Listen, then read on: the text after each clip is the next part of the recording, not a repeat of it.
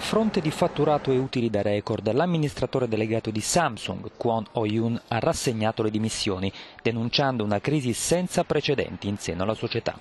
La decisione scaturisce dallo scandalo per corruzione che ha portato all'arresto dell'erede della dinastia che controlla la casa coreana, Lee Ye-yong. Lo scorso anno un altro scandalo aveva riguardato le batterie difettose del Galaxy Note 7, poi sostituiti. Nel terzo trimestre dell'anno le vendite di Samsung sono salite quasi del 30%.